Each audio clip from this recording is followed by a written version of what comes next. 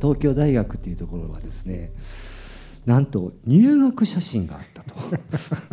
でこの宗介君がこれ18歳ですよね。18歳ですね。ね。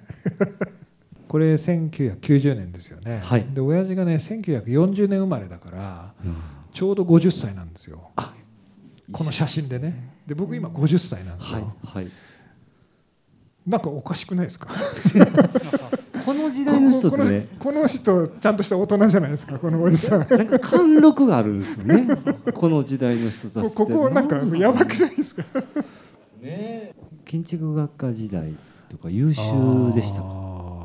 あの建築学科時代はね、はい優秀でしたね。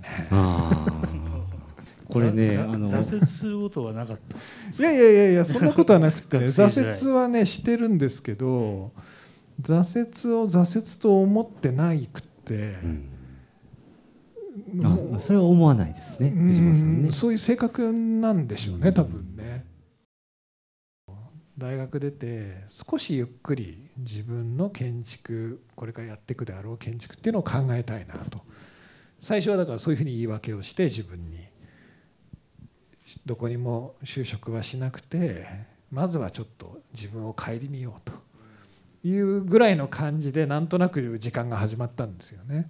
そんな感じで67年ですかだから朝遅めに起きて、うんつうかまあ昼だな 昼に起きてでなんかこうブラ街をブラブラして当時スタバとかなかったからあのマクドナルドでちょっとコーヒー飲みながらスケッチして。いや俺建築のこと考えてるよな、うん。考えてる考えてるみたい な。そんな。学生の人たちに言うときますけどここれ以降に見るプロジェクトを見てすごいと思わず今のこの 何とでもなるぞ人はって思ってくださいね。それもうそこだけ今日覚えて帰ってくれるともう後のすごいプロジェクトはどうでもいい。はいはい。やっていきましょうか。はいこれブダペストなんですけどあのブダペストの街の、まあ、中心に近いところに結構広大なこういうセントラルパークみたいな大きい公園があってでプログラムは音楽学校とはい。音楽博物館とはい。音楽ホールうんのこの3つがこう合体してるもので,、うん。で僕らは、まあ、森の中なんてあんまりでかくなるのは嫌だなと思ったんで一番天高がある博物館の展示室を全部地下に入れてせっかく美しい森の中だからそこにそのまま開いた音楽ホールっていうのを作れたらいいよねと。うん。で屋根はあの教育施設とジムとかが入ってるんですけど、うん。さっきの穴ぼこの屋根がね、うん。ただこれって全貌がわからない建物なんですよね。その上,、まあ、上から見るとね大体こうわかるんだけど、森の中にいるとこう屋根がいきなり見えてくる。外観がだからなくて、うん。屋根下が天井が見えてくるんですよ。木々の向こうに。うん。でわーっと入っていくと天井がファサードみたいになってるんだけど穴もいっぱい開いていてでガラスの壁があってガラスには多分こうやってすごい映り込んでるのでうん。なかなかちょっと不思議なあの見え方になるんじゃないかなっていう。なるほど。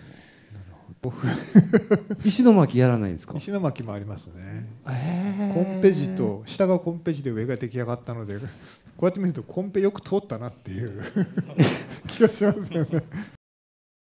それぞれがそれぞれなりの記憶の中に留めることができるんだけどもでもそれがある一つの焦点を結ばないままなんとなくこう漂ってるみたいなそういう外観の在り方もそうだし中の存在の仕方もそうだし社会の在り方もそうだし共同体の在り方もそうだしっていうふうになんか僕はなっていっているんじゃないかなという気がしていて。多様なんだけど緩やかにこうつながっていてほしいっていうのがやっぱああると思うんですね。なんかそのこう感覚っていうのがなんかすごく現現代だな。それは万博の話をずっといろんな人と議論してる中でも自分の中で湧き上がってきたし石巻で半ばこう無意識的にやってたところと意識的にやってたところがあのたどり着いてたところでもあある。まあ万博の話はまたもうちょっと時間があるので 来年に聞かせてもらうとして。藤尾さん今後どんな建築作りたいとか、多様でありながらでも緩やかにつながっている何かっていうのが、これは建築に限らずこれからの社会像みたいになっていくと思うんですけどでそそれとさっきごめんなさいねややこしい話で。そうそういうなんか多様なものが緩やかにつながっているという社会像と建築とか道とか都市とかっていうのを分け隔てないない感じで共存している感じっていうのはこう同じことを言ってるんですよね。だからなんかそういうことに最近興味があるしこれからの建築でそうなっていくんじゃないかなという気はしています。それでは本日2021年度第6回目の217をこれにて終了とさせていただきます。最後に大きな拍手で閉会とさせてください。ありがとうございました